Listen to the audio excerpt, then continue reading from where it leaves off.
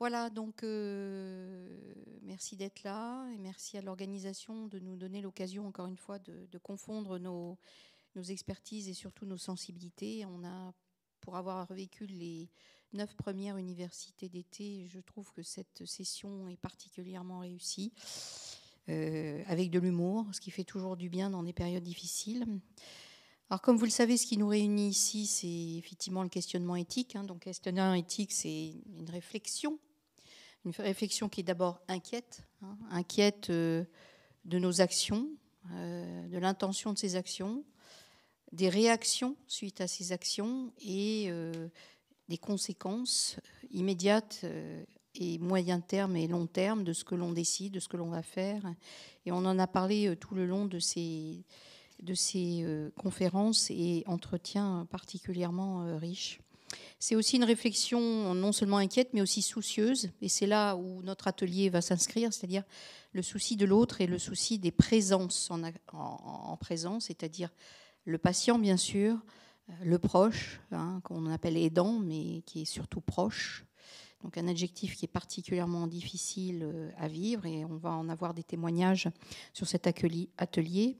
Et puis bien sûr euh, les soignants, parce qu'effectivement on n'a pas assez, euh, par probablement plus d'heures travailler la question de comment mettre en mots euh, l'annonce et comment donner l'accès à une certaine euh, vérité, euh, du moins réalité des faits. Alors, on vous propose de nous présenter chacun avec nos, petites spécificités, nos petites coquetteries de parcours. Et ensuite, chacun, nous allons prendre la parole comme on le fait dans tous les ateliers, 5-7 minutes. Et ensuite, surtout, surtout, on va vous donner la parole pour vraiment que cet atelier soit, riche d'enseignements et, d'analyse et puis d'autocritique éventuellement. Philippe euh, Merci Nadine. Oui, alors, euh, je ne suis pas Florence Le Bidois, comme vous avez pu lire sur les sur les papiers. En fait, je la remplace. Elle n'est elle est pas disponible euh, au dernier moment. Et je suis, elle fait euh, partie, comme moi, de l'association des aidants et malades à corps de Lévis. Elle est, euh, elle est administrative, administratrice de l'association. je suis président de l'association. Et je suis moi-même un ancien aidant de malades à corps de Lévis. J'ai accompagné ma femme pendant des années. Elle est décédée et depuis, euh, ben, j'ai fondé cette association il y, a, un peu plus de, de deux ans, deux ans et demi. Et voilà. Bonjour, Muriel Delporte. Euh, je suis sociologue, euh, conseillère technique au CREAI des Hauts-de-France et chercheur associé à l'Université de Lille. Je travaille depuis plusieurs années sur la question de l'accompagnement du vieillissement des personnes en situation de handicap. Et il y a trois ou quatre ans, j'ai été interpellée par des professionnels d'établissements d'hébergement pour personnes handicapées, des personnes porteuses d'un handicap mental, donc d'une déficience intellectuelle. Et ils m'ont interpellée en me disant, bah voilà, on a un public qui vieillit, on a de plus en plus de situations de personnes qui développent des maladies neuroévolutives de type maladie d'Alzheimer. Et nous, la maladie d'Alzheimer, on ne connaît pas. Donc on est très en difficulté. Est-ce que vous pourriez nous accompagner? Donc c'est à partir de là que j'ai eu l'occasion de faire une recherche à l'université sur l'accompagnement professionnel et familial des personnes avec trisomie malade d'Alzheimer. Et j'ai aussi pu animer des groupes de travail avec des professionnels d'établissements d'hébergement pour personnes handicapées et aussi des petites sessions de, sensibilisation, de discussion avant tout dans cet établissement euh, où on a fait à chaque fois trois sessions de discussion sur la maladie d'Alzheimer, une avec des professionnels, une avec des familles et une avec euh, bah, les personnes qui vivaient dans ces établissements, donc des personnes porteuses de déficience intellectuelle. Très bien. Pierre, à ton tour. Oui, Pierre Bonhomme, je suis psychiatre. Euh, et je travaille actuellement dans un centre mémoire, le centre dit neuropsychogériatrique. Vous voyez que les trois disciplines de la neurologie, de la psychiatrie, de la gériatrie sont en interaction intriquée pour évaluer au mieux les troubles à la fois cognitifs, intellectuels des patients, des patients ou des personnes qui craignent d'être malades, et puis euh, également les désordres affectifs et comportementaux pour faire la part des choses et essayer d'évaluer au mieux l'état neuro, euh, neuropsychiatrique euh, du patient, ce dont il souffre, et ce qu'on doit à partir de là lui conseiller. Je suis par ailleurs membre de l'espace éthique azuréen. Vous savez que chaque ville, de la manière que Marseille, chaque ville a regroupé un peu euh, autour du, là, du CHU un certain nombre de personnes intéressées par les problématiques éthiques. Et donc je travaille avec le professeur Bernardin qui a qui a fédéré autour de lui un certain nombre de, de, personnes intéressées par les problématiques. Et si ça vous intéresse, il y a un site d'ailleurs qui vous permet d'avoir contact avec cette instance et participer à certaines de leurs réunions. Merci. Marie-Pierre. Alors Marie-Pierre Pancrasi, je suis psychiatre et gériatre et je, je m'occupe euh, d'un centre mémoire ressources et recherche en Corse, donc un CM2R.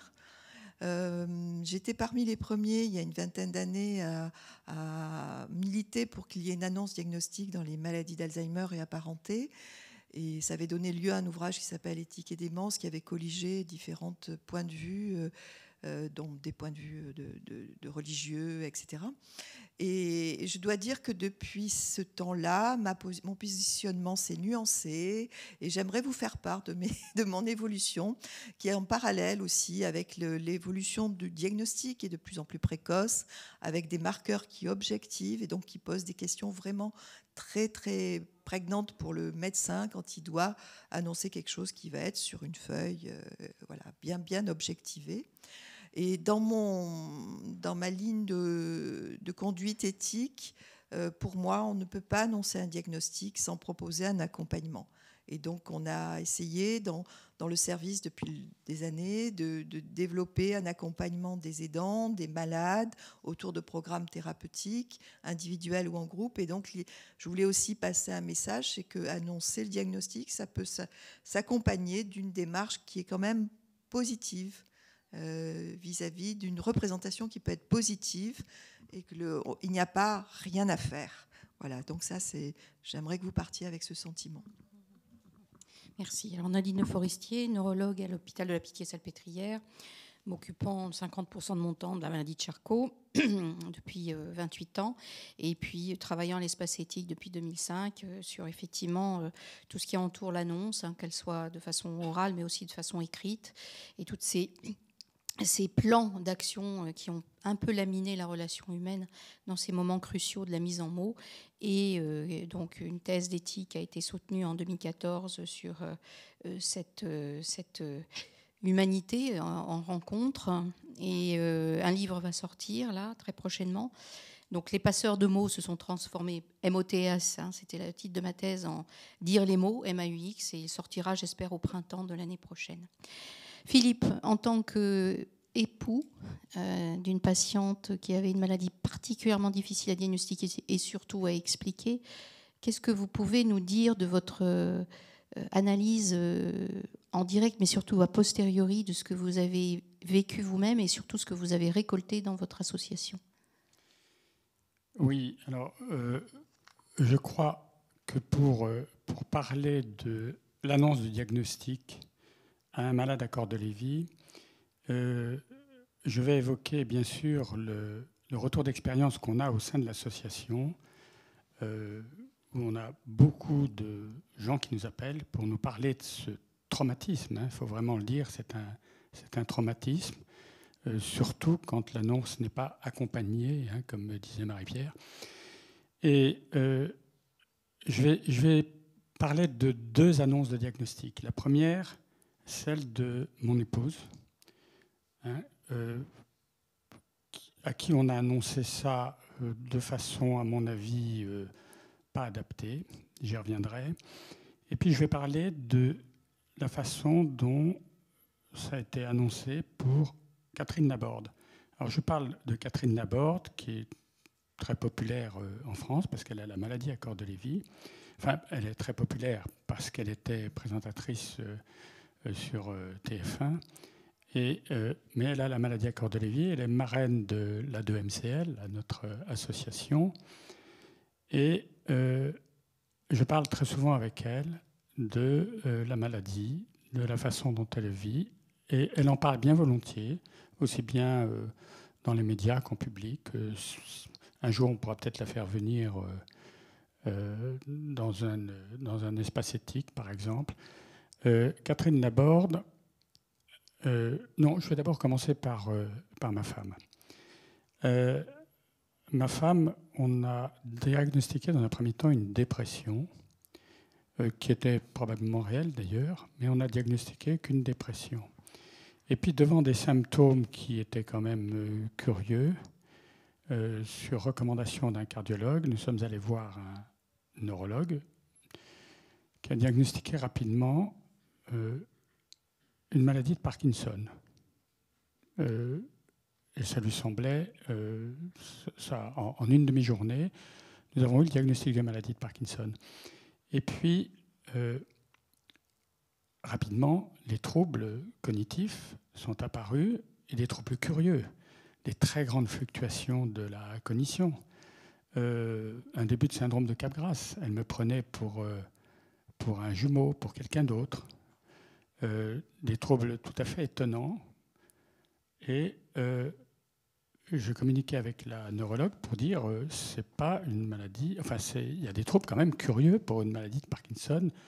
Elle me disait non non troubles cognitifs euh, c'est lié à la dépression. Et puis quand j'insistais, elle disait oui mais les effets secondaires des médicaments. Alors les effets secondaires des médicaments et la dépression sont pour moi euh, deux façons d'évacuer souvent un bon diagnostic dans les maladies neurocognitives. Et elle a fini, enfin, finalement, euh, je suis allé sur, euh, sur Internet pour essayer de comprendre ces symptômes. On me dit que c'est pas bien, il faut pas. Enfin, certains médecins disent c'est pas bien. Mais je suis allé sur les sites américains et canadiens et j'ai découvert que les symptômes de ma femme correspondaient à Madia Cordelevi. Alors, je suis allé voir la neurologue en tête à tête. Je l'ai coincé dans un, dans un couloir et puis je lui ai dit écoutez, euh, docteur, il faut qu'on se parle. Les, symptômes de ma femme, ça ressemble à une maladie à corde de Lévy. elle m'a dit, il faut voir, on va regarder, on va l'hospitaliser. Et finalement, difficilement, elle a admis que c'était une maladie à corde de Lévy. elle l'a annoncé sur un, on va dire sur un, sur un coin de lit, non pas de table, mais de lit, dans la chambre de ma femme, en disant oui, c'est une forme de Parkinson, euh, c'est ce qu'on appelle un Parkinson plus. Et là, déjà, les mots n'étaient pas adaptés. C'est un Parkinson plus, donc c'est une forme de Parkinson. On va, vous mettre beaucoup de, de L-Dopa et puis ça va aller. Et puis dans dix ans, elle essayait de donner de l'espoir pour une maladie où on savait très bien, je savais très bien que c'était une maladie très compliquée dans le vécu et dans l'accompagnement. Nous, sommes partis avec ce, diagnostic qui m'a été confirmé par mail par la suite, après un PET scan. Euh, ma femme a été traumatisée par l'annonce du diagnostic. Pas vraiment, pas sur le coup. Moi, oui. Mais elle, non. Pas vraiment sur le coup. Mais par la suite, oui, au fur et à mesure où elle découvrait les symptômes de sa maladie, qu'elle ne comprenait pas, elle me disait, je perds la tête, je ne comprends pas ce que j'ai, mais j'ai un Parkinson, mais qu'est-ce que c'est Pourquoi? Et moi, je ne savais pas lui répondre parce que je ne connaissais pas la maladie. Je n'en savais que ce que j'avais vu sur euh, quelques sites Internet euh, euh, étrangers. Et puis par la suite, les choses se sont, continuées à se dégrader pour, pour, pour ma femme. Et on peut dire que elle n'a jamais vraiment bien compris ce qui lui arrivait, à tel point qu'elle m'a demandé plusieurs fois de l'aider à mourir, et ça de façon très lucide, y compris à la fin de la maladie. Donc, si vous voulez, elle a très mal vécu la maladie, et moi aussi. Euh, nous étions dans la révolte, tous les deux, je le suis toujours d'ailleurs, ce qui m'a aidé à créer cette association. Et euh, ce que je peux dire, c'est que notre cas n'est pas du tout isolé. Très nombreux, euh, les, aidants, les familles qui nous appellent, les malades qui nous appellent, sont très souvent dans ce cas-là. À l'autre bout du spectre, je vais citer euh, Catherine Laborde. Et encore une fois, comme je disais, hein, euh, elle en parle bien volontiers en public, donc je n'hésite pas à en parler. Elle, Catherine Laborde, elle a d'abord eu un mauvais diagnostic, mais très rapidement, on a transformé son diagnostic de maladie de Parkinson en maladie à corps de Lévy, dès qu'on a perçu les troubles cognitifs. Et euh, on lui a expliqué tout de suite ce qu'était sa maladie, quels étaient les symptômes, qu'est-ce qui allait se passer, même si elle n'avait pas les symptômes, quels symptômes on pouvait rencontrer. Par exemple, quand on dit à un malade à corps de Lévy qui est en début de maladie, même au stade prodromal, maintenant la maladie, elle, se, elle se diagnostique avant la perte d'autonomie du malade. Et euh, lorsqu'on dit à un malade, vous savez, vous pouvez avoir des hallucinations. Vous pouvez, par exemple, voir des petits animaux, des enfants ou d'autres choses qui ne sont pas la réalité. C'est une construction de vos cerveaux, ça fait partie de la maladie. Le malade, il peut être un petit peu choqué quand on lui dit ça, mais quand après l'événement arrive, il le vit beaucoup mieux que celui ou celle comme ma femme qui euh, voyait passer des rats ou des animaux monstrueux et qui me disait mais je perds la tête, je ne comprends pas. Qu'est-ce qui se passe? Qu'est-ce qui m'arrive? Je suis folle, je suis, j'en peux plus. Donc vraiment, je crois que la façon d'annoncer un diagnostic, c'est absolument essentiel pour la suite du malade. Et on observe dans notre association que les malades à qui ont été diagnostiqués tôt, à qui on a fait un peu d'éducation thérapeutique, mais même si c'est euh, assez euh, simple et pas forcément très formalisé. Mais si on leur a appris ce qu'était la maladie, ils la vivent beaucoup mieux. Et moi, c'est un peu intuitif ce que je dis, il n'y a pas encore d'études sur le sujet, mais pour moi, la maladie évolue beaucoup moins vite. Donc la, conclusion que, je tire de ces expériences et de celles des autres aidants, c'est qu'il faut d'abord un bon diagnostic. Ça paraît idiot, mais dans la maladie à corps de Lévy, la plupart des annonces, et quand je dis la plupart, c'est plus de 70% des annonces sont un diagnostic d'Alzheimer ou un diagnostic de Parkinson ou un diagnostic de maladie psychiatrique. Et quand je dis dans 70%, je crois que je suis, euh, optimiste. Euh, et l'errance diagnostique dans cette maladie, elle est énorme. Et alors là, les malades vivent très mal cette période où on leur dit qu'ils ont Alzheimer, alors qu'ils ont tout à fait autre chose et que ce ne sont pas les mêmes symptômes. Après, comme je l'ai dit finalement, il faut un diagnostic précoce. Dans cette maladie-là, je crois que plus le diagnostic est précoce, plus le malade comprend les choses et plus on peut facilement, euh, il peut facilement euh, prendre en compte euh, ce qui va lui arriver et en plus, son entourage peut aussi plus facilement l'accompagner. Il faut utiliser les bons mots. Quand on parle de maladie apparentée, on sous-entend que la maladie est une forme d'Alzheimer ou une forme de Parkinson, puisque là, il se trouve que cette maladie, elle est apparentée à Parkinson et Alzheimer. Et pour moi, le terme de maladie apparentée est à proscrire. D'ailleurs, à l'espace euh, éthique, depuis déjà des années, ce terme a été supprimé. Et je rends hommage à l'espace éthique. Je, régulièrement, je cite le fait qu'il y a l'espace éthique qui l'a supprimé, et maintenant la HAS, dans les derniers documents qui parlent de l'accompagnement des, des aidants professionnels dans les maladies neurocognitives, ils nomment chaque maladie par leur nom. Ce terme de maladie apparentée était justifié au, début du XXe siècle, quand on n'avait pas identifié les maladies, qu'on ne savait pas quoi dire un malade qui avait des troubles cognitifs. On lui disait, vous avez, c'est pas Alzheimer, mais euh, il y a des troubles cognitifs, donc on va dire que c'est une maladie apparentée à Alzheimer. Bon, maintenant que les maladies sont identifiées, bien identifiées, euh, je crois qu'il faut sortir de cette paresse intellectuelle ou de cette méconnaissance pour nommer les maladies par leur nom. Euh, voilà, enfin, je crois qu'il y a vraiment une nécessité d'un accompagnement global. Il faut accompagner le patient, le malade. Il faut vraiment avoir présent à l'esprit, euh, ça on en, parlait tout à l'heure, il faut avoir présent à l'esprit que le, patient, il a en général de la famille, un proche, un conjoint, un enfant, qui va euh, vivre la maladie avec le patient et qui va subir ce même traumatisme. Il faut le prendre en compte tout de suite. Tout de suite, parce que le capitaine du navire, que forme du navire familial, qui va rentrer dans la tempête, au début, les, eaux sont peut-être encore à peu près calmes, mais quand ils vont rentrer dans la tempête, il faut que le capitaine soit en état de conduire le navire. Et le capitaine, ça va souvent être le, conjoint ou quelquefois un enfant. Euh, voilà, donc euh, moi je, milite pour qu'il y ait tout de suite un accompagnement psychothérapique des patients et des, et des, et des aidants dès l'annonce du diagnostic. Merci Philippe hein, pour cette introduction poignante. Est-ce que le regard du sociologue euh, fait un écho euh, particulièrement, je dirais, positif, mais aussi euh, du versant professionnel?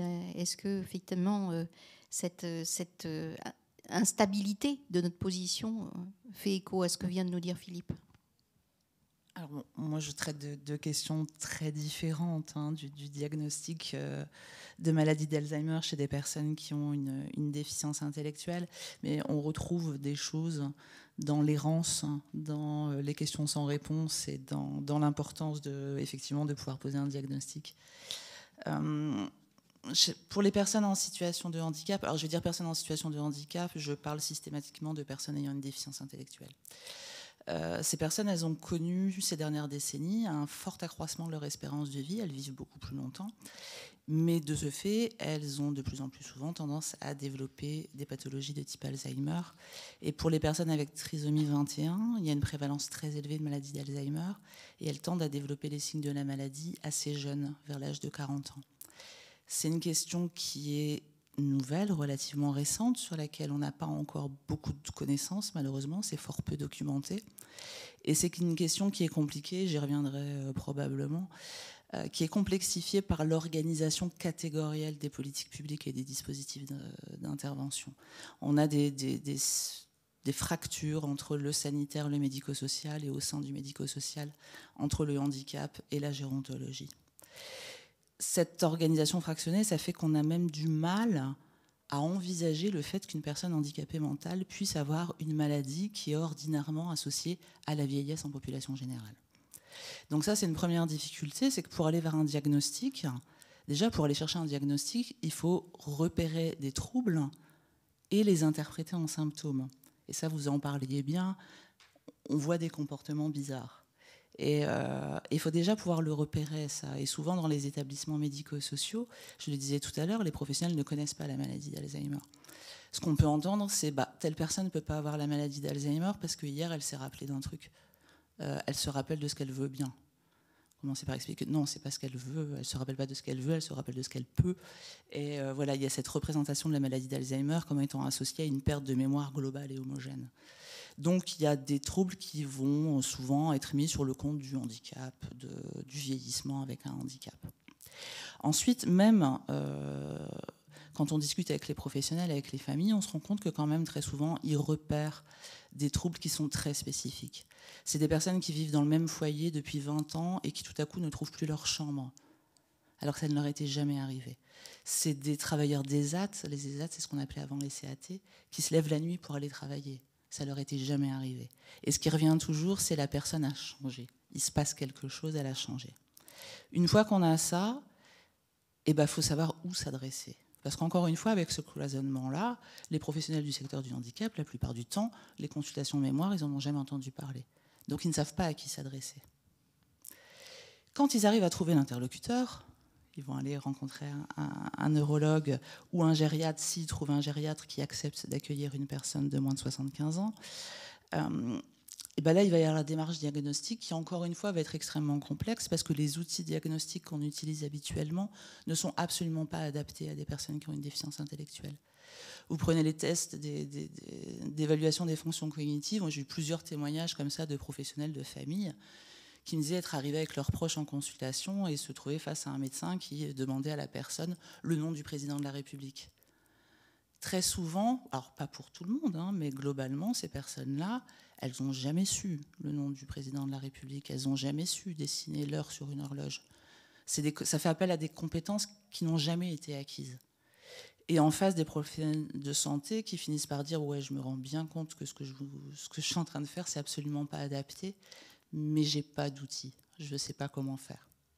Alors je pourrais y revenir par la suite, des outils euh, il en existe, des démarches il en existe, mais c'est encore fort peu connu. Ce qui fait qu'avec tout ça, ben, en fait, on aboutit finalement rarement à un diagnostic médical posé, ferme. On reste dans, dans, ce doute que vous décrivez, ou alors on va l'interpréter. Voilà, il va y avoir d'autres, registres qui vont être invoqués. On sent bien que c'est pas ça. Et ce diagnostic, il est extrêmement important. D'abord parce que, je reprends ce que vous disiez tout à l'heure, ça va permettre de mettre des mots. Et pouvoir poser des mots sur ces troubles qu'on a observés et qu'on a du mal à comprendre, bah déjà, c'est très important. Ça va permettre aussi, si on fait une, une vraie démarche diagnostique, c'est-à-dire on va essayer d'aller chercher, voir s'il n'y a pas d'autres pathologies possibles. Donc ça va permettre aussi d'évincer d'autres pathologies. Je vais prendre un exemple très rapidement, je vais faire attention, parce que quand je me lance sur cette question-là, j'ai du mal à m'arrêter. Euh, une gériatre qui m'expliquait qu'une fois, des professionnels étaient venus en consultation avec une dame qui était une dame porteuse de trisomie, qui était âgée d'un peu plus de 50 ans, en disant elle a une maladie d'Alzheimer. Et elle dit bah, qu'est-ce qui vous amène à, dire ça? Bah, Elle a des troubles du comportement. Bah, c'est quoi les troubles du comportement? Eh bien des fois, euh, elle va sous la douche, elle allume l'eau froide et elle reste sous l'eau froide. Alors que ça, c'est un truc qu'elle faisait pas avant. On dire oui, effectivement, c'est un trouble, mais euh, qu'est-ce qui pourrait expliquer ça? Et bref, ils ont fait. Euh, ils ont fait des examens et tout ce qui suit. Ils ont fini par se rendre compte que cette dame entrait en ménopause. Elle avait des bouffées de chaleur. Elle avait chaud, elle allait se mettre sous l'eau froide. Ce qui est plutôt rationnel. On lui avait jamais parlé de ménopause. Parce qu'elle avait une trisomie 21, on n'envisageait pas qu'elle puisse être ménopausée. Et finalement, cette, cette dame n'avait pas de maladie d'Alzheimer.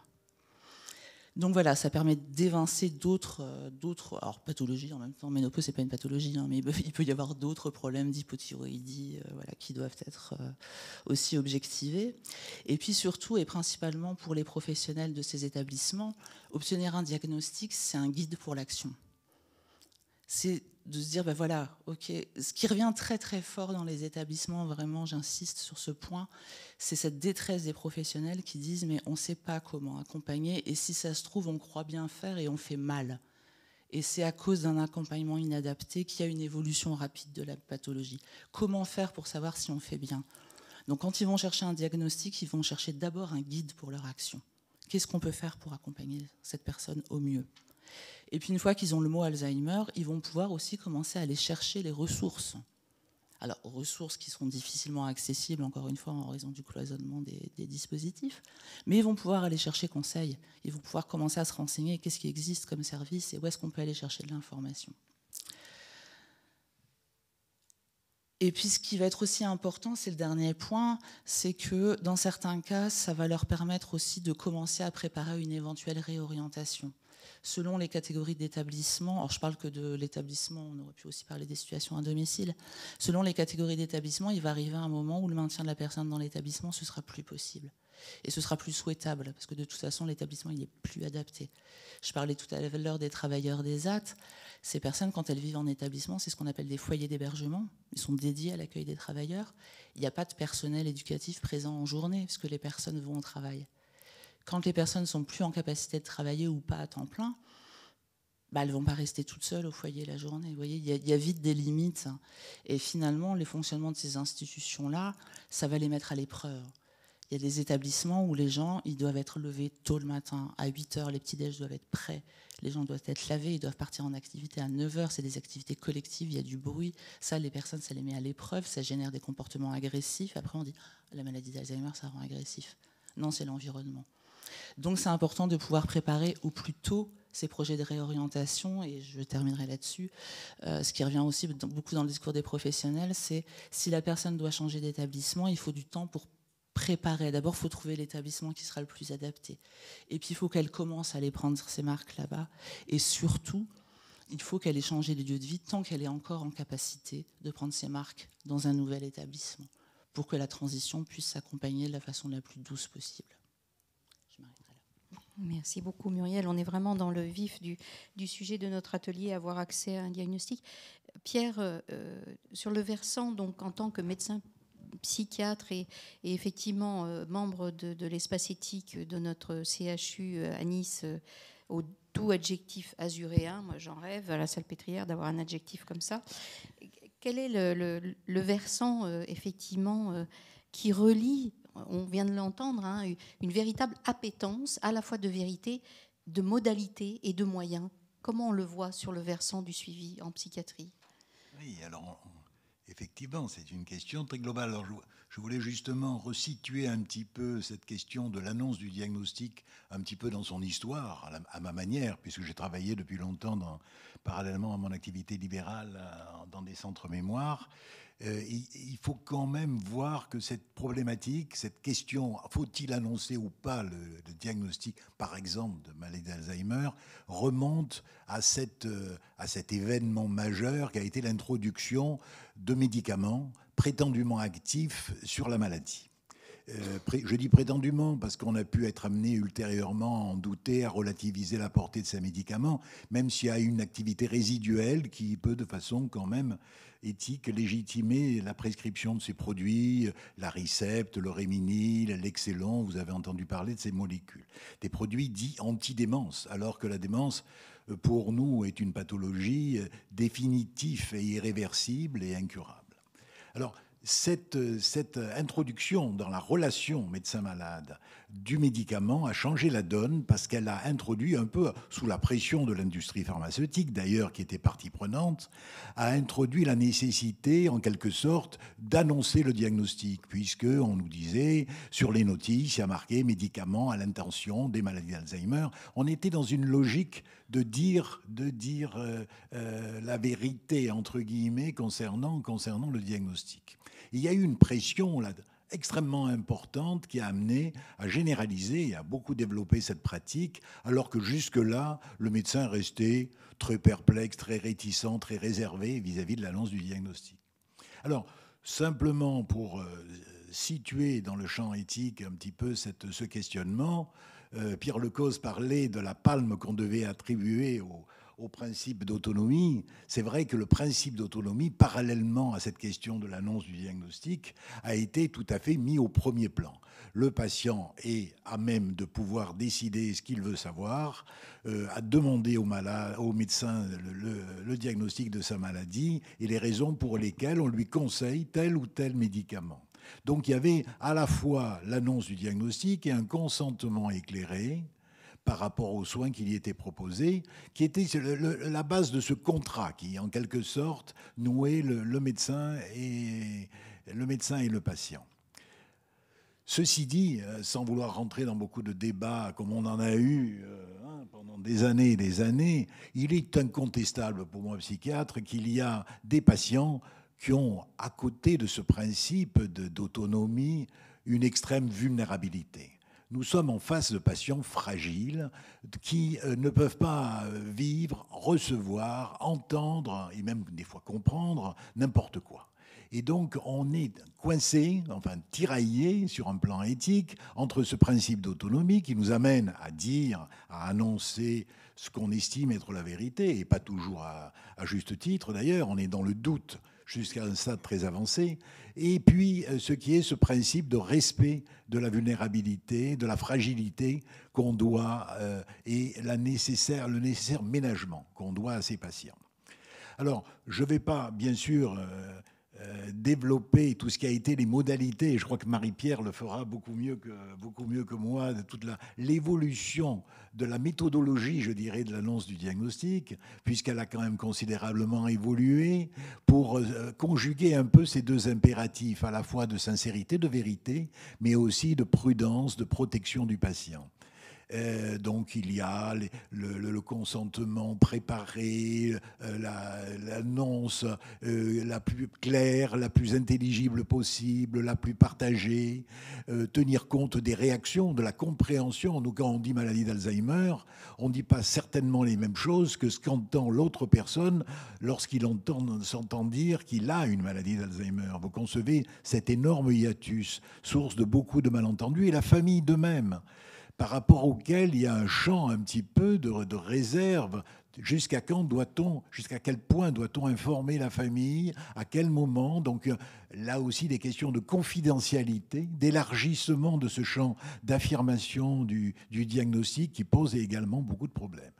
Marie-Pierre euh, va certainement l'évoquer parmi beaucoup de ces questions très complexes. Moi, j'ai été le témoin surtout de ce qui était, un peu comme l'évoquait monsieur, les bons et les, mauvais coups concernant l'annonce de ce diagnostic.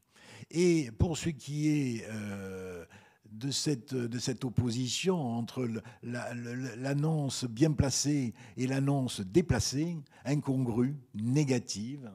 Euh, je, situerai le questionnement au niveau du moment où le diagnostic est annoncé.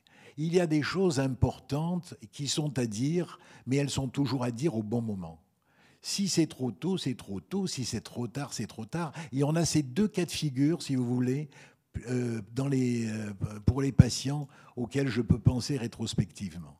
Il y a bien sûr les cas trop tardifs. L'annonce est trop tardive. On a laissé se dégrader la situation parce que le médecin a méconnu les aspects neurologiques d'une pathologie psychiatrique, parce qu'il se dit que euh, sans doute euh, il n'y a pas tellement d'intérêt à avancer plus avant dans cette allégation. Toujours est-il que les choses ont filé et qu'on se retrouve des fois dans des scénarios catastrophes où le patient a rompu avec son entourage conjugal, s'est retrouvé euh, dans des désorganisations du comportement qui l'ont desservi sur le plan social. Bref, toute une série de, difficultés qu'on aurait certainement pu appréhender, prévenir, si on avait su mettre, comme on l'a évoqué, les mots. Euh, les mots, euh, je ne suis pas sûr que ce soit toujours le mot Alzheimer, mais en tout cas des mots qui consistent à traduire la, sollicitude, la préoccupation que nous avons pour ce patient, ce que nous sentons de potentiellement néfaste dans les troubles dont il souffre, et essayer de le guider, de l'amener, lui et des fois sa famille, à des démarches euh, sinon décisives, en tout cas de moindre mal, de prévention de complications ultérieures. Je le vois, moi, en tant que psychiatre, cette annonce trop tardive, je fais simplement cette allusion. Vous savez que dans le champ des pathologies mentales, on a beaucoup avancé aussi dans l'annonce du diagnostic.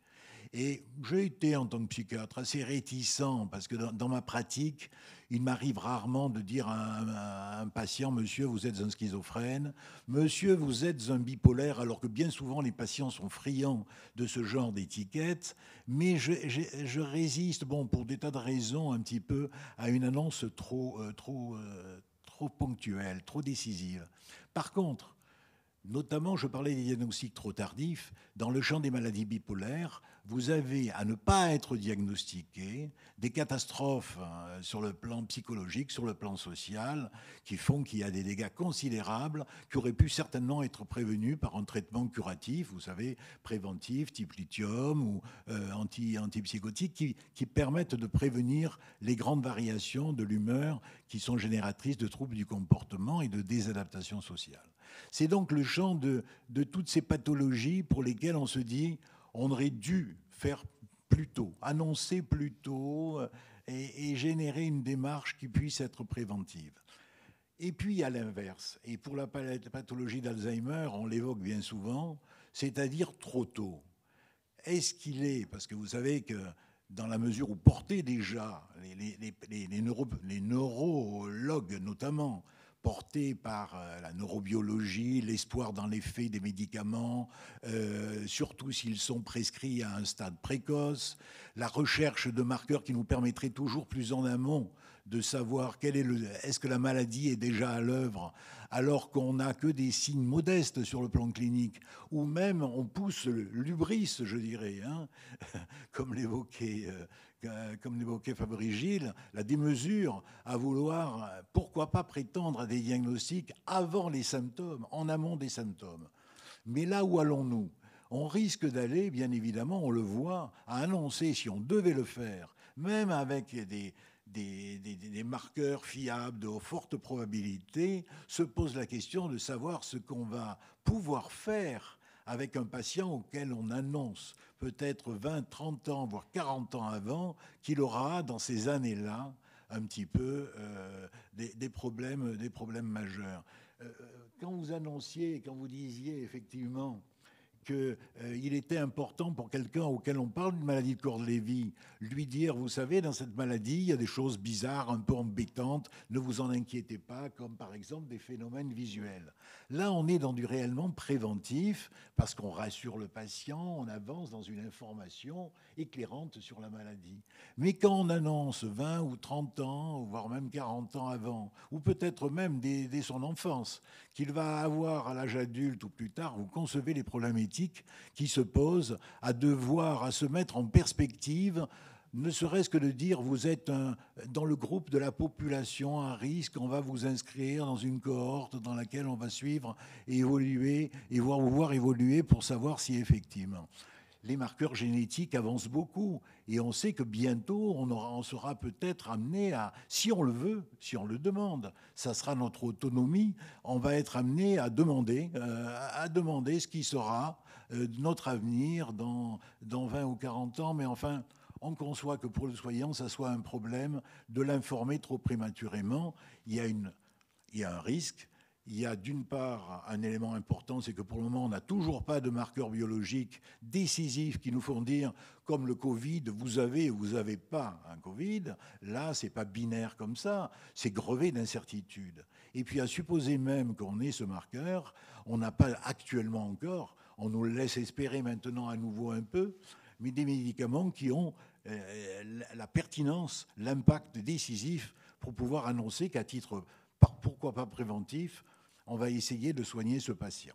Donc vous voyez la difficulté, ou trop tôt ou trop tard, à s'inscrire dans une dynamique qui serait positive. La bonne dynamique, c'est une réponse un peu de Normand, mais enfin qu'on a l'habitude de citer dans ces cas-là, c'est de proposer la sagesse du diagnostic au bon moment, au moment opportun. Et ce moment opportun où le patient est à même de pouvoir recevoir, et on a besoin de nos informations complémentaires, il va y avoir à ce moment-là une démarche, une rencontre. Mais c'est même plus une rencontre, parce que comme le soulignait déjà Marie-Pierre, c'est dans le cadre d'un suivi, d'un soutien, d'un dialogue qu'on peut être particulièrement discriminant, non pas simplement de la pathologie dont le patient souffre peut-être, mais aussi de l'opportunité qu'il y a à aller plus avant dans l'information de la, et a fortiori sa famille, de la, de la, réalité, de la réalité médicale. Donc, si vous voulez, et, ce n'est pas qu'après, ce n'est pas parce qu'on instaure un diagnostic qu'il faut instaurer un suivi, c'est parce que le suivi a déjà préalablement été installé, qu'on connaît bien ce patient, qu'on est à même de pouvoir savoir quel est ce moment particulier où il faut aller plus avant dans l'annonce dans diagnostique. Voilà à peu près un petit peu ce que je voulais euh, proposer euh, en termes de réflexion. Merci, Merci Pierre pour rentrer en écho un petit peu de ce que vous venez de dire, effectivement, et c'est ce que j'avais dit à l'atelier euh, hier après-midi, premier atelier, c'est que effectivement, on est dans une phase où, comme vous le disiez, on a un espoir, mais énorme actuellement, de stabiliser les patients qui ont des maladies telles que la maladie de Charcot, pour ne parler que d'elle, mais ça va être la même chose pour la maladie d'Alzheimer et de Parkinson d'origine familiale, donc avec une mutation bien déterminée. Et on est en train de traiter donc des patients avec des injections intratécales, donc par ponction lombaire.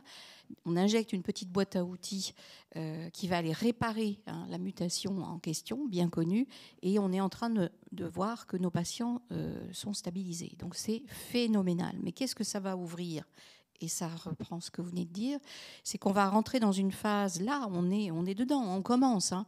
on va rentrer dans une phase où moi, je vois mes jeunes praticiens hospitaliers, chefs de clinique, sont tout excités, ils font de la génétique tout azimut, parce qu'ils ne veulent pas que les futurs patients euh, membres de la famille d'un patient Charcot, Alzheimer ou Parkinson ne puissent pas bénéficier de ces techniques. Donc on fait de la génétique à tout, azimut, sans prendre des précautions de ce que c'est qu'une détermination génétique. Hein, ce n'est pas rien. On interroge l'intime, mais cette intime connue va être une réponse collective dans une famille, puisque la famille a droit à l'accès à ce, à ce résultat. Et donc là, on est dans cette phase où on change de paradigme de soins. On va s'occuper bientôt des bien portants qui n'ont pas encore les symptômes, qui vont être présymptomatiques, que l'on va surveiller pendant des mois et des mois par des ponctions lombaires, voir s'ils ont des marqueurs qui apparaissent. Et à ce moment-là, on anticipera, parce que vous le savez, on l'a dit tout à l'heure, c'est pas parce que vous avez une mutation que vous allez exprimer la maladie. Et on va anticiper et donc on va s'occuper des gens qui n'ont pas encore les symptômes. Donc ça va mettre sur le carreau peut-être nos patients qui sont vraiment symptomatiques et qui ont la maladie. Et là, il va falloir que notre veille éthique soit vraiment chevillée au quotidien dans, dans cette dans cette recherche et cette application de la recherche qui me réjouit, hein, parce que ça fait 28 ans que je perds mes patients, j'en suis contente, mais attention, attention, ça va aller très très vite, les choses vont nous échapper. Cette parenthèse fermée, Marie-Pierre, tu nous disais tout à l'heure hein, que euh, tu avais évolué, tu avais changé effectivement ta façon de, réfléchir par rapport à l'annonce euh, diagnostique. Est-ce que tu peux nous, nous partager ce, cette métamorphose? Alors, c'est l'avantage de vieillir, hein, c'est qu'on on acquiert une, sagesse qui est liée à l'expérience.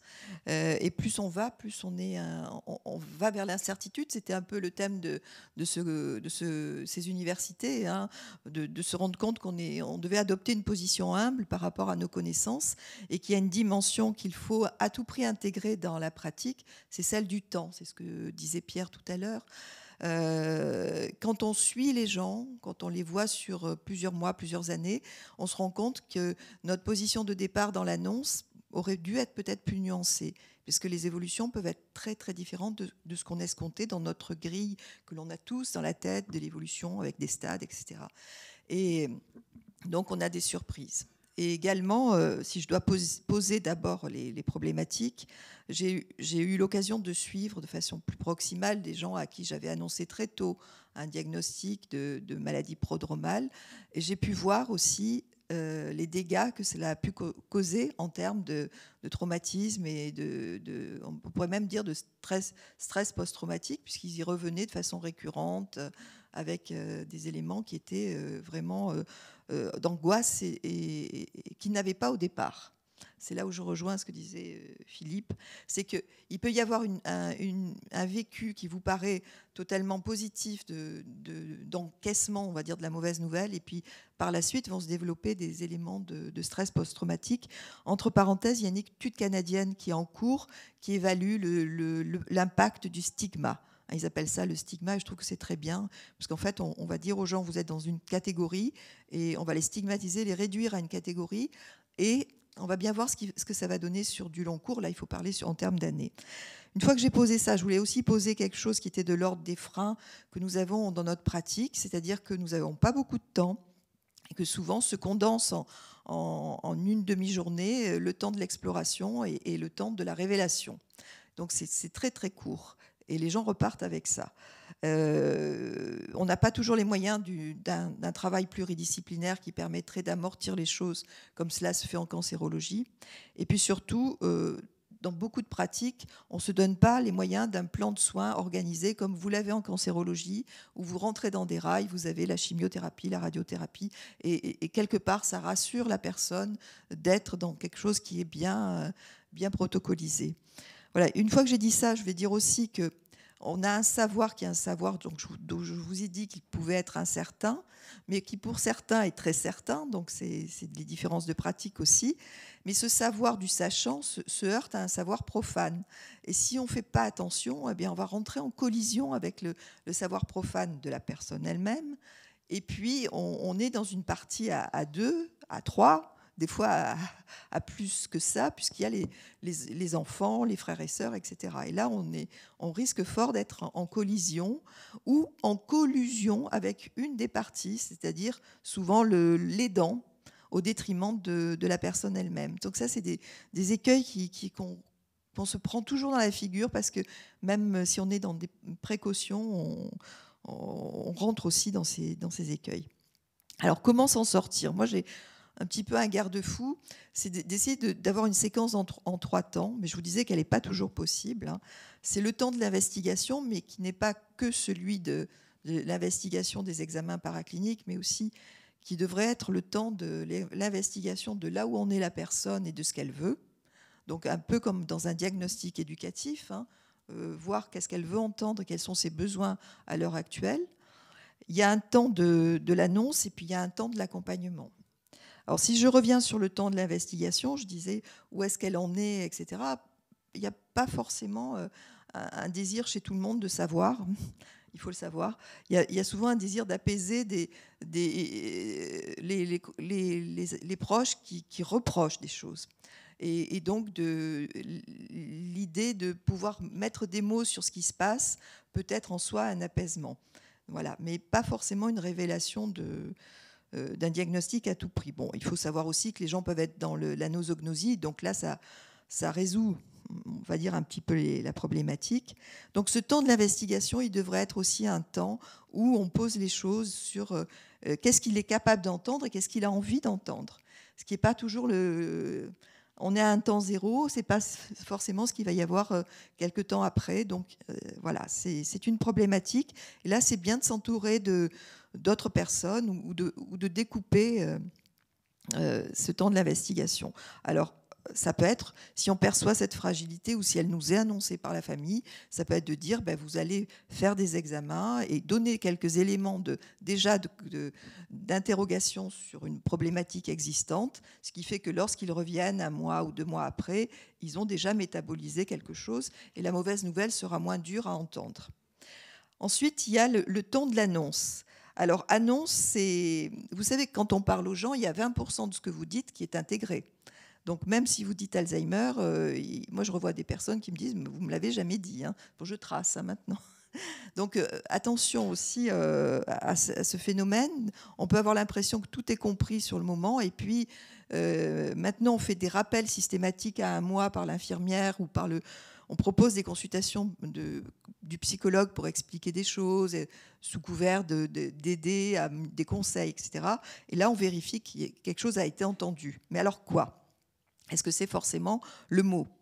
Je sais, je sais que là, là je, peux, on est dans des, conflits binaires, hein, souvent sur ces, choses-là. Moi, je reste dans l'idée qu'il faut être dans le vrai, euh, le, plus, le plus près de la vérité.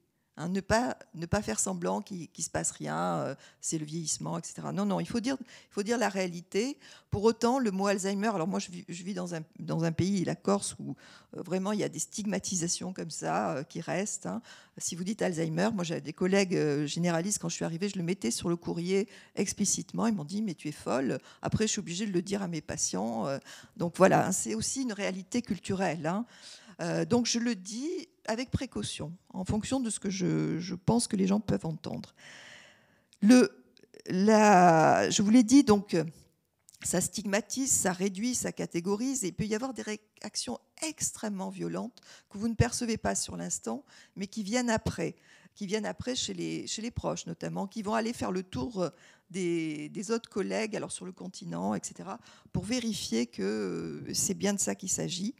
Ou alors, si vous ne l'avez pas dit de façon très explicite, ils vont aussi faire le tour pour pouvoir l'entendre, le faire entendre de façon assez euh, violente à la, personne. Moi, j'ai un conjoint comme ça qui a vu euh, quatre ou cinq euh, praticiens pour, qu'on lui dise ce qu'on lui avait déjà dit, mais d'une façon beaucoup plus, de façon beaucoup plus brutale. Euh, attention aussi, parce que vous, vous allez entourer votre discours de précaution, et puis quand ils vont rentrer à la maison, euh, sous le, coup de la colère, ils vont dire Mais tu n'as pas compris que tu étais Alzheimer et, voilà, le, diagnostic va être redit de façon euh, plus, plus brutale. Donc, je vous disais tout à l'heure que pour moi, diagnostiquer, c'est accompagner. C'est vrai que dans ma représentation, si je me dis que je vais faire quelque chose, c'est plus facile de faire passer la pilule. et donc, on, a, pris un engagement avec les personnes, déjà d'établir de, un plan de soins qui est très détaillé, qu'on fournit aux généralistes, mais aussi de proposer des accompagnements, soit nous, soit via d'autres euh, référents dans les territoires qu'on a identifiés, euh, pour être un peu dans ce schéma dont je vous parlais en cancérologie. C'est quand même plus simple, c'est plus acceptable si vous vous dites il y a quelque chose à faire. Souvent, les, les les, personnes ou les, familles me disent mais on vous revoit pas dans un mois, on n'a pas les moyens de les revoir dans un mois. C'est pour ça qu'on a mis en place d'autres types de, d'étayage. Mais euh, donc l'idée, c'est de, fournir des lieux euh, de, guidance, d'apprentissage, d'aide à, la relation, parce qu'on sait très bien que l'évolution va, va, vers les stades sévères va être d'autant plus retardée. Ça, c'est pas moi qui le dis, c'est des études que l'on a travaillé sur des préventions qui vont être ou primaires quand les gens sont très très tôt dans la maladie, avant la maladie ou secondaire. Et, donc on sait que si on travaille sur les attitudes, sur l'environnement, euh, si on travaille aussi sur l'usage de certains médicaments, on va, on va retarder la survenue de stades sévères. Et l'étayage, c'est vraiment euh, le moyen de s'en sortir du point de vue, euh, je dirais, éthique, c'est de de ne pas laisser les gens à l'abandon vis-à-vis d'une nouvelle aussi, qui peut être aussi potentiellement effrayante. L'étayage, il peut se faire au niveau des proches, mais il peut se faire aussi au niveau des, patients. On peut faire de l'éducation thérapeutique avec des patients Alzheimer. Le tout, c'est de, moduler euh, ce que l'on veut obtenir comme, comme compétence acquise. Et là, ce que l'on peut dire dans le, suivi de ces personnes, c'est que le groupe a un effet médicament. Euh, le groupe permet vraiment d'atténuer les angoisses en, voyant ce que Dolto qualifiait de mêmeté, de, dire l'autre est le même que moi, et donc je peux, je peux m'approprier son vécu, et, c'est beaucoup plus facile de se dire je vais m'en sortir euh, en s'appuyant sur ce que euh, les, stratégies, les, les, petites ficelles que trouvent les autres. Et là, là on est dans quelque chose d'horizontal qui ne passe pas par, euh, par un sachant, le, sachant est juste là pour faire le passeur. Et là, je peux témoigner euh, à, travers ces 20 ans que, c'est possible, qu'il y, a, y a des évolutions qui sont positives du fait d'un étayage de qualité. Euh, bien sûr, l'étayage, il n'est pas forcément en centre mémoire. Hein. Ça peut être une orthophonie qui noue un lien très fort. Ça peut être euh, une auxiliaire de vie plus tard. les ESA aussi ont un intérêt. Donc tout l'intérêt, c'est cette chose-là je, voudrais aussi dire que même si on ne prononce pas le mot Alzheimer dans, dans ce, côté euh, catégorisation, euh, j'explicite toujours les symptômes, et notamment les hallucinations, les, troubles du comportement, parce que là, ça les dédramatise beaucoup. Et enfin, je veux terminer sur quelque chose qui est le futur. Vous savez que nous avons des biomarqueurs. Vous savez que quand on reçoit l'analyse des biomarqueurs, il y a un diagnostic qui est porté par euh, ou l'immunologiste qui dit 95% de probabilité de maladie d'Alzheimer, ou euh, le PET scan qui dit euh, profil d'Alzheimer, etc. Quid de ce qu'on fait de ça? Je reviens d'un congrès sur les actualités Alzheimer où on nous disait que quand même, bon, il faut relativiser le poids de chacun de ces éléments. Le diagnostic, c'est pas toujours aussi simple. Donc, il faut aussi travailler sur l'impact de l'objectivation de ces, éléments dont bientôt peut-être ils seront encore plus rapides puisqu'on va avoir des marqueurs dans le sang. Voilà, il faut savoir travailler ça en amont parce que là aussi, ben, il faut laisser une fenêtre, peut-être pas d'espoir comme vous disiez tout à l'heure, mais quelque chose qui soit quand même peut-être de l'espérance. Hein, euh, il ne faut pas rester dans, à mon sens, hein, il ne faut pas rester dans quelque chose qui soit définitif de l'ordre de je vous écarte du chemin des vivants. Oui, merci Marie-Pierre. Effectivement, on dit toujours, mais on le sait maintenant, euh, alors qu'au début de nos ateliers euh, dans les universités d'été, on, on disait euh, le titre de nos ateliers c'était dire ou ne pas dire. On voit combien on a cheminé et combien on vient de plus en plus subtil dans cette relation de soins. Alors avant de vous donner la parole, puisque c'est vraiment le but des ateliers, je voulais rajouter deux trois petites notions qui moi aussi euh, va témoigner de mon cheminement et de, de mes erreurs. Déjà, effectivement, tu viens de le dire, Marie-Pierre, quand on quand on fait, parce qu'on fait, hein, on taille une pierre, comme on disait euh, ce midi au repas, euh, on taille une pierre quand on va mettre en mots euh, une certaine vérité.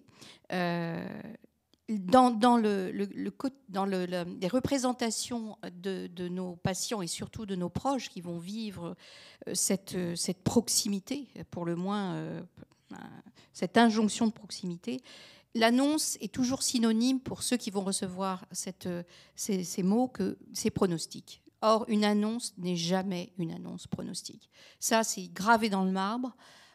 Moi, j'ai 15% de sclérose latérale maladie de Charcot, qui en moyenne décède dans 40 mois. J'en ai 15% qui vivent depuis plus de 10 ans. Donc jamais, jamais c'est un pronostic. Et ça, faut le réexpliquer à nos familles, c'est extrêmement important. À l'heure actuelle, vous le savez, on vit une période absolument sensationnelle avec euh, des oxymores, hein, euh, relativité virtuelle. Euh, on, peut, on peut mentir vrai, hein, on l'a entendu d'ailleurs tout à l'heure. Il y a des vérités alternatives, il y a des mensonges blancs maintenant. moi, j'adore tous ces mots qui s'inventent, qui font que bah, il va falloir effectivement travailler de plus en plus la notion de vérité, la notion de vrai, la notion de réalité. Or, comme le disait Blaise Pascal, si euh, le réel s'absente d'une situation, il y a danger. Or, effectivement, il y a un fossé entre le réel et la vérité. Moi, je garde à l'esprit cette phrase simple que certaines personnes spirituelles disent, la vérité, c'est ce qui est utile. À partir du moment où on part sur cet axiome qui m'est utile, moi, tous les jours, je me dis, un, c'est vrai, il y a l'utilité du patient, il y a l'utilité du soignant et il y a l'utilité du proche ou des proches qui vont être là. Et c'est là où il va falloir effectivement tailler différemment, avec différents outils, la mise en mots de ce qui va euh, nous, entraîner tous. Hein. Je disais dans ma thèse qu'il fallait que, n'est pas un pouvoir, mais je me suis trompée. euh, annoncer à quelqu'un ce qu'il a ou ce qu'il a moitié ou ce qu'il a complètement, mais c'est un pouvoir fondamental. Et le seul pouvoir qu'on a, mais qu'on a l'obligation, c'est de ne pas détruire, c'est pas de fermer l'espoir, comme tu dis Marie-Pierre. Et combien de fois on s'est trompé Et puis, avant de mettre en mots, déjà, il faut s'interroger de notre état, s'interroger de l'action que l'on va mettre, puisque parler, puisque nous avons un métier très verbeux, nous, en soi. Hein, c'est quelle est mon intention de lui dire? Qu'est-ce que je vais faire? Comment je vais faire pour lui dire? Et c'est vrai qu'il ne faut pas qu'on oublie de, que on parle, on s'écoute, mais c'est surtout qu'on va être entendu. Et donc cette entente, elle va être complètement différente des oreilles de l'époux, comme des oreilles du fils ou de la fille ou du, patient qui est effectivement euh, dans l'attente d'une certaine vérité, mais feutré. Donc il faut que cette mise en mots soit pour moi une proposition de soins pour ouvrir une conscience que ça va être difficile, montrer qu'on mouille notre chemise, que c'est vraiment difficile et qu'il euh, ne s'agit pas d'embarquer les personnes en présence euh, dans une rhétorique pour essayer de, effectivement de faire plaisir à l'auditoire comme faisait Trump. Hein. C'est vraiment montrer que l'être humain qu'on a en face de nous va rester un être en société, va rester un être en vérité, parce que justement, il est en vérité de lui-même. Il est en vérité de ses proches, de son entourage, de ce qu'il a envie. Et ça, c'est vraiment éminemment important et ça demande un, travail euh, personnel, moi, à chaque fois, c'est une rencontre. À chaque fois, un patient est une exception.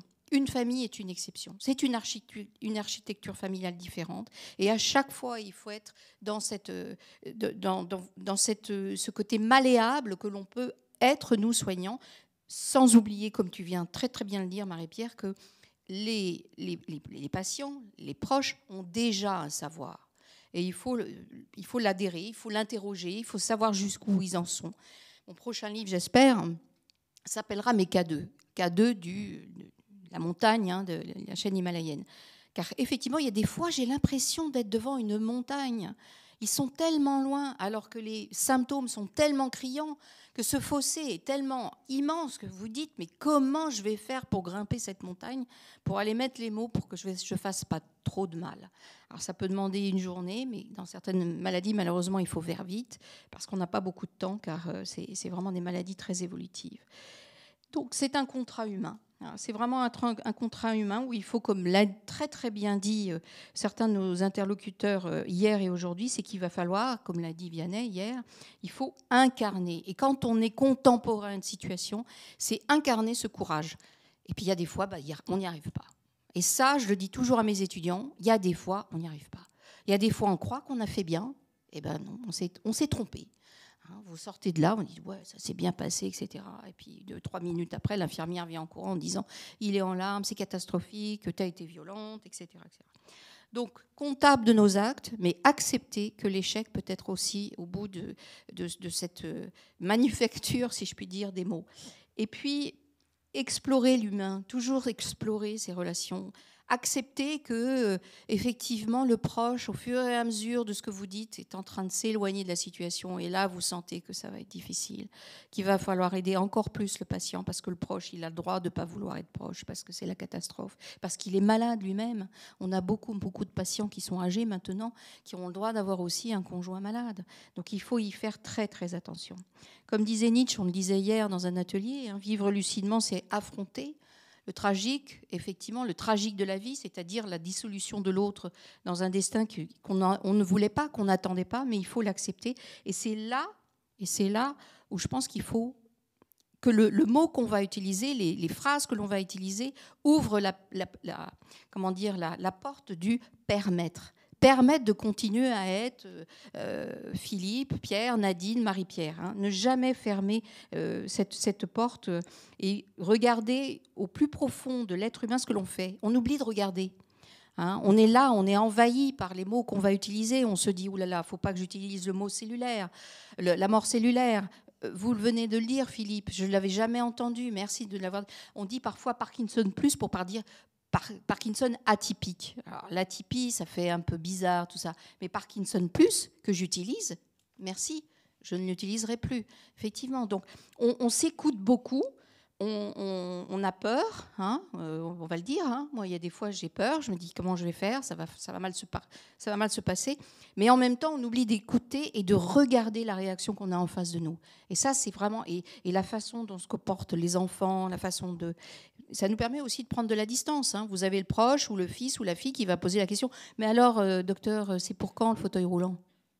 Si vous êtes dedans, dedans, dedans, dedans, vous allez répondre bille en tête. Ben non, prenez un peu de recul et dire, mais attendez, euh, monsieur, je comprends votre question, mais peut-être que votre papa veut pas entendre la réponse. Vous voyez, c'est ça aussi, le, souci éthique. C'est être dedans, mais en même temps garder euh, ses sens éveillés pour dire attention. Il s'agit de lui, il s'agit d'elle. Bien sûr, tous les proches veulent savoir, mais il va falloir y aller euh, tout doucement, à pas feutré. Et enfin, pour terminer, j'ai appris euh, dans les lectures absolument savoureuses que nous permet cette époque où il y a des très très beaux livres qui sortent, et on en a relaté plein, plein depuis, de nombreux depuis hier, j'ai appris qu'en hébreu, comprendre, ça veut dire goûter. Un goûter, faire l'expérience de l'autre. Et ça, ça me plaît beaucoup parce que, effectivement, à chaque fois qu'on va s'engager dans une relation dialogique, dialogue, un logos de deux parties, on va d'abord essayer de comprendre euh, l'autre, les autres qui sont en présence, pour que effectivement, ben, on, soit dans le chemin de la métamorphose. Et j'ai des patients qui se sont métamorphosés comme moi. nous enseignons en binôme, mais je vais m'arrêter là, euh, la relation de soins, hein, donc avec des, malades ou avec des représentants d'associations de, malades.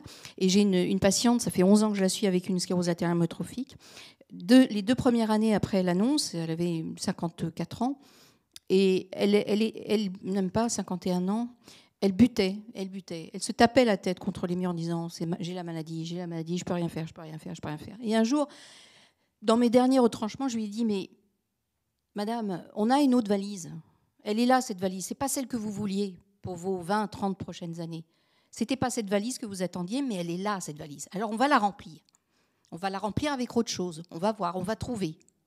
Et elle a dit aux étudiants euh, de, médecine en quatrième année, alors qu'aujourd'hui elle est en fauteuil roulant, elle ne mange plus seule, elle se lave pas les dents seule, elle peut pas faire pipi, etc., toute seule, etc., etc.